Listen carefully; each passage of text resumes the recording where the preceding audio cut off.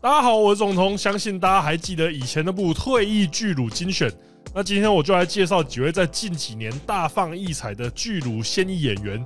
那可能有一些比较资深的老将不会提到，就请大家多多包涵了。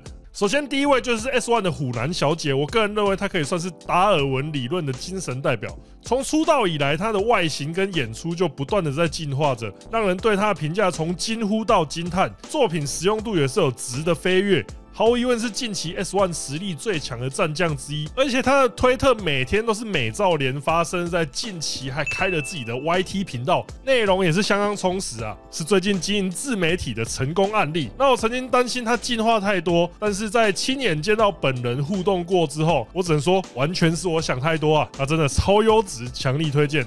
再下一位就是我们的沙月小姐，并非从大手片商，而是从 Dips 这个从 SOD 独立出来的制作公司担任专属，所以一开始海外关注度其实没那么高。但是当他转气化单体之后，大家才发现他根本拍片铁人，在短时间之内就累积了超惊人的作品数量，而且脸蛋不错，身材又是超顶尖，瞬间就虏获了大量影迷的心。我个人也是非常欣赏他，现场采访的时候效果也是做好做满。亲和力十足，强力推荐的一位。紧接着，这位三手小姐在去年十二月底加入了邪恶帝国 S One。我个人认为她真的是衔接上了那个女人再次神秘消失的缺，身材一样强大，演技也差不多烂。我个人认为安斋颜值略胜，但三手赢再多他一分骨感。看到目前的话，我觉得他自己不出什么状况的话，应该都还能当好一阵子的业界身材教科书。如果表演能力更强的话，那真的是有够无敌了，算是绝对不能错过的一位强者。接下来这位也是 S One 近期密藏的优质新秀，清源小姐，真的就像封面一再强调的奇迹之乳。形状跟重量感都在画面上展现十足十的魄力，它给我的感觉有点像大学姐梦乃，但是能不能在业界活跃这么久，除了身材之外，还有很多需要强化能力。接下来这位赖明小姐也是堪称教科书等级的身材，颜值的部分可能就见仁见智，但是我还没听过有人觉得她身材不行的，在演技的部分上也都表现的好像饿了很久一样，实用性不俗。那之前根据业界传言，似乎有点状况啊，所以近期作品量锐减，算是比较可惜的。那接下来的安小姐是近期加入 Idea Pocket 的一位新秀，虽然从出道前的宣传就感觉到她的身材威力惊人，但是实际看到。时候必须坦诚啊，他不太像 Idea Pocket 过往的新人类型。大白兔的部分确实很强，但是在 Idea Pocket 一向强调的偶像感跟脸蛋，在第一眼看到的时候，可能就不会给人留下太多印象。不过事实证明啊，只是前期在磨合。最近的新作品每一部都有越看越顺眼的趋势，推荐给各位。接着这位桃园小姐，好。我知道他严格来说不算是近几年的演员，但是他在二零年复出之后，毫无疑问成为了 Fitch 的台柱，甚至可以说是业界匈奴演员的代表之一啊！而且也算是开了逆兔女郎这个造型的先河。之前对他的访问也是让我觉得顶到不行，回答问题的风格有一种天真感，所以个人觉得还是要在这边跟大家推荐一下。接着，这位爱宝小姐是 S One 在今年的新人，短发造型又白又大，理论上应该是我会强力推荐爱不释手的演员。但是说真的，我目前看她的作品还找不到那个实用的开关，有时候就是这样啊，就像我也找不到 Jason Tatum 打球好看的点在哪一样啊。而且最近他虽然还在推特上，但是作品严重锐减，因为他已经加入了卡哇伊当专属女优了。接着就是在之前的主题精选也已经提过，一百四十七公分的朝田日葵，那它除了个子小之外，该大的就有大。那也因为这个比例的关系，让视觉效果看起来更加惊人。而且我必须说啊，从 SOD 毕业之后开始接触其他电商的他，展现出更多可能性，作品也更加实用。例如说，一样是拍制服主题，就有不同的气质，让我相当看好他的发展。可是虽然这样讲啊，他其实已经在四月的活动宣布隐退了，非常感到遗憾。这样子。OK，接下来还是 S One 成员。就是这位易小姐，外形非常精致，作品内容其实也不差。但我平常其实更常关注她的社群软体，反而比较少看片，有一种买椟还珠的感觉。追根究底，还是要说啊，S One 战将真的太多，每个月看到后面体力都已经消耗太大，没办法一次全部推荐给你们。好，接下来看到这位有刚小姐，应该会有人说：“哎，钟子彤，你有没有搞错？他应该是老将了吧？”那我个人是觉得啊，他换过事务所跟名字之后，其外形也有改变一点，作品量也有上升。那我们就不要介意这么多了，因为我觉得他改名后的作品也是颇为实用，所以我们就暂时放下昨日种种，要展望未来嘛。在这边也推荐有刚小姐给大家。然后就是我们的宁宁，应该不用再多做介绍了。刚出道的时候，我只能说是惊为天人。看到最近的作品，也是惊为天人。接下来是这位肉户小姐，也是 Moody's 专属阵容中的一员。出道的时候以清新甜美的气质、短发造型，加上有料身材，瞬间收获不少粉丝啊。那像在台湾的话，我有看过不少留言说她长得像。某个 YouTuber，但是基于我的严重脸盲，所以我又无法断定到底是像谁。总之，在这边推荐给各位肉护李凡小姐。再，我们看到下一位日向小姐，当时出道我就曾经说过啊，S One 又网罗了一名身材教科书等级的新人，那确实也是如此。同时能做到有苗条感又有料，真的是非常厉害。个人认为，她也只是只差加强一点表演能力，就可以变成业界顶尖存在的一位。而她最近非常努力的在。学中文，大家也可以去他的推特抱着礼貌跟他互动，相信他会很开心啊。不过在这边也是要讲一件遗憾的事情，就是大几率在十月的时候，他就会跟大家说拜拜了。在这位最近的作品，大家应该都感觉到，我对结城小姐也是产生了不小的兴趣。原因无他，就是她的表演实用度实在惊人。从 Moody's 一出道之后的作品，不管在数量跟内容上，都是可圈可点，而且在大量的共演演出当中，也是十分抢眼的存在。如果你还没看过的话，建议你赶快加入粉丝行列。虽然她之前已经因为身体因素长休，但旧的作品都还是非常值得推荐给各位观赏。我们接着看这位是新奶小姐，在一八底出道的新人，通常有一个特征，就是身材都蛮有料的，但是脸蛋的部分就像在抽状元惊喜包一样，有可能给你的 Brown James，也有可能给你 Kwame Brown。那新奶小姐，我个人觉得可以算是一个成功的选择啊，身材肉的恰到好处，脸蛋也不错，演出妹系角色可以说是非常之适合。现在作品不多，但我个人非常看好她转气化单体后的发展。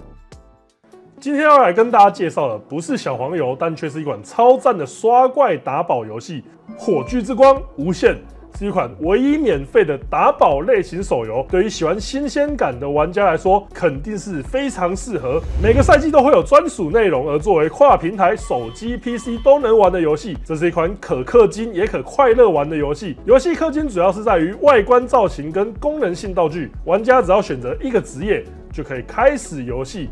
个性鲜明的英雄设计，尽情打宝，无限掉落输出，无 CD 的爽快战斗，创造专属战斗流派。而且火炬之光无限中的技能都是免费点击即可获得，所以只要你投入游戏，它就能回报你的付出。九月八号就要开启全新赛季，永恒迷城随机地城，无限探索全新英雄魔灵现身，还有全新的英雄特性，更打造系统优化升级，传奇掉宝率提升到三点五倍。这么好的机会，还不快来把握？火炬之光无限，输入神秘礼包 Ghost 零九零八，打宝免烧香，还可以。领取限定好礼。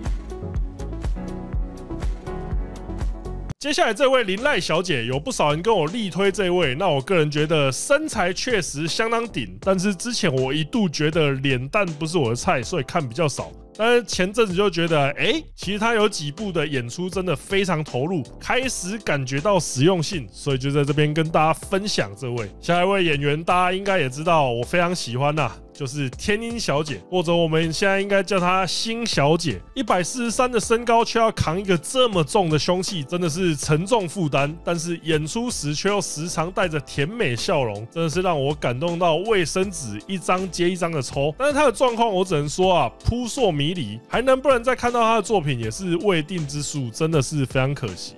在这位乙小姐其实也是老面孔啊，当年我也是跟她有一面之缘，但是她后来真的是全身造型大改变，不止戏路大开，尺度也是大开，完全跟当时的感觉不一样。那人气当然也不在同一个等级啊。最近在来过 T R E 之后，肯定又圈了一波粉丝。那个银白短发绝对是最近不会错过的一位强者啊。接下来是水源小姐，让剪辑一度以为自己的荧幕被调宽的演员，可以说是目前业界肉感风雨的代名词。有时候就是要跟别人不一样，才可以开拓出一条属于自己的道路，就像是大谷翔平的二刀流一样。那从他的作品数量跟人气可以证明啊，他的路线没有错。我之前的精选也是出现过不少次他的作品，推荐给各位。接下来就是梦见小姐，当初她宣布加入业界，真的就是超级震撼弹。毕竟是拥有实际成绩的写真偶像，话题性也是很高。但是加入之后发生什么事，大家也都知道了。除了出道作品之外，他的高人气似乎并没有很成功的转换到作品销量上，蛮可惜的。可能也是因为在这种更一目了然的作品，有些缺点就没办法隐藏啊。那另外一位雷声大雨点小的代表，就不得不提到温牌小姐，携带四百万抖音人气强势加入业界，但是也是没有化作实际。的买气，虽然在演出的表现确实相当吸引人，但是个人觉得看到目前并没有一支决定性的优秀作品，期待接下来 S One 会对他量身打造新主题。接下来的这位是南条小姐，前阵子看了不少她的作品，对于这种有健康肤色、身材又有料的演员，我一向是很难抗拒的。尤其是我之前也介绍过的同人改编作品，真的优质。不过目前看来，真的就如业界传言一样，她已经默默隐退，算是十分。很可惜。接着这位风小姐也是 S One 军团的一员。当初在她出道的时候，我对她的印象就是精致版的美谷小姐。但后来看她的作品，就觉得好像不能这样讲啊，因为在表演的能力上还有一段落差。不过在身材上确实是没话说。个人觉得，要是她有演技，真的有美谷等级的话，那就应该像是欧尼尔有了外线一样的可怕。接着就是双片商专属的异才，冲绳出身的蝶小姐。虽然一直有人会诟病她太过精致，但是在封面就已经决定百分之七十胜负的业界，长得精致不是坏。事实上，这也反映在她的人气上，再加上她的演出也颇具水准，所以依然是一位我会推荐给大家的优质演员。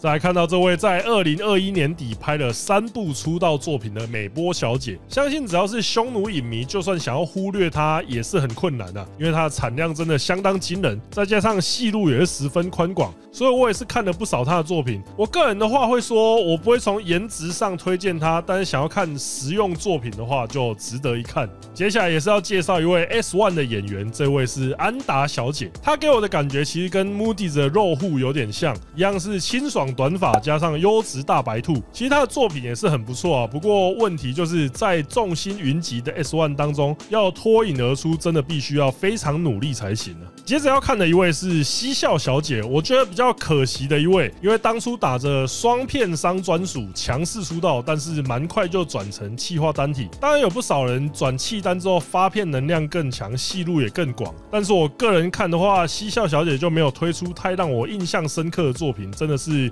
有点可惜呢。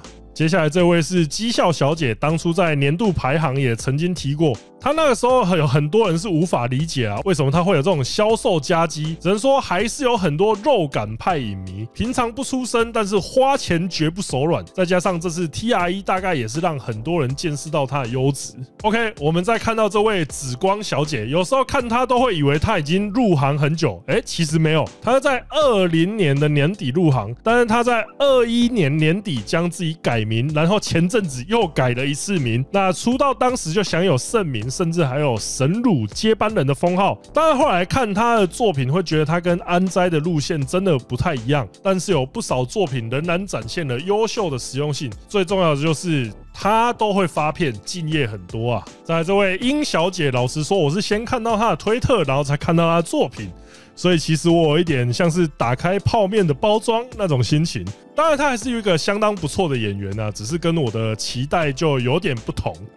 然后又是一位 S One 战将节月小姐，清新脱俗的女大学生风格，再加上优秀的身材，我一看就觉得，哎，这个大众。还有人说她有些角度神似知名啦啦队员，再次强调我脸盲，所以不太敢这样讲。但是不管像不像，她的优质程度都不需要怀疑啊，肯定就是你要追踪的一位强力新人。接着看到这位是小花小姐，也是一位不管作品数量跟内容都颇为优质的演员，颜值不俗，再加上真的是又白又软，演出超投入，作品数量还多到不行。让人印象非常深刻，可以说是很难错过的一位优质大白兔，肯定要推荐给你各位啊。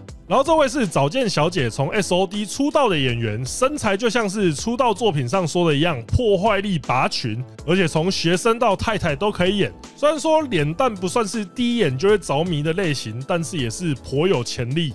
那接下来也依然是 S One 的新生代，他们真的是把业界比较大新人都先看过一轮了呢。那这位就是东云小姐，在去年十一月份的精选也有提到，单论脸蛋的话，我觉得她比主模型那位更顶，身材也是有料。在近期改名鱼野之后，就不会再有人认错了。但她的优质你还是千万不能错过。然后接下来不能不提的一位啊。S O D 的超大物新人炼渊小姐有多大物呢？她以 M 罩杯公务员的身份出道不到一年，推特就已经突破五十万人追踪。我在日本见到本人也是只能赞叹那对凶器的破坏力真的太强。相信大家在访谈影片中有已经见识到我当初有多晕啊，一定要推荐给各位啊。那还有一位演员，也是我之前超级推荐的一位，就是白花小姐。作品数量并不多，但每部的实用性都非常顶，肉感的恰到好处的身材，还有那个极度魅惑的眼神，再加上我觉得合作的导演都蛮知道怎么拍她的。综合以上要素，可以说是我近期的实用冠军。可惜的是，最近她的社群已经消灭啊，有很大的机会不会再看到她的新作品了，很遗憾。好，看到这边，大家应该也知道，今天的最后一位演员就必须得提到 S O D 的另外一位瑰宝，也就是神木小姐啊，可以说是目前业界身材堪称无敌的存在，而且本人也是仙气满满，身高又高，人还很亲切，简直是上下两路毫无破绽。如果说要选出二零二二最强新人，我有很大的机会把手中的票投给他，就是这么的优质啊。好，那以上就是这次的演员推荐，希望大家会喜欢。我是钟子通，我们下次见。非常感谢你的收看，也请务必在影片按赞、订阅、开启小铃铛，支持我们其他平台，包括 Instagram 以及 Podcast。那也别忘了中子通一下的 YouTube 会员开通啦！想成为我们的呼噜通粉吗？赶快加入我们哟！请务必加入，谢谢。谢谢，再见。